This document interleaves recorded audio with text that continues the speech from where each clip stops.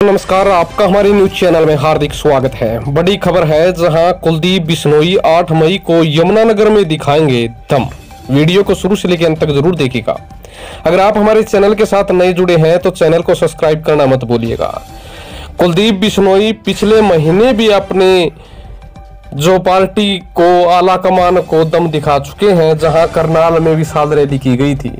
इसी तरह कुलदीप बिश्नोई आठ मई को यमुनानगर में आला कमान को दम दिखाएँगे। कुलदीप बिश्नोई ने यह जानकारी ट्वीट करते हुए दी है। उन्होंने कहा है कि भाजपा जजपा को हरियाणा से उखाड़ने तक हमारा संघर्ष जारी रहेगा। करनाल में हुए ज़बरदस्त सफल कार्यकर्ता सम्मेलन के बाद अब कांग्रेस ने जन जागरण कार्यकर्ता सम्मेलन की दूसरी कड़ी में हम 8 मई 2022 को जिला यमुनानगर में राहुल गांधी जी व के बीच में रखेंगे।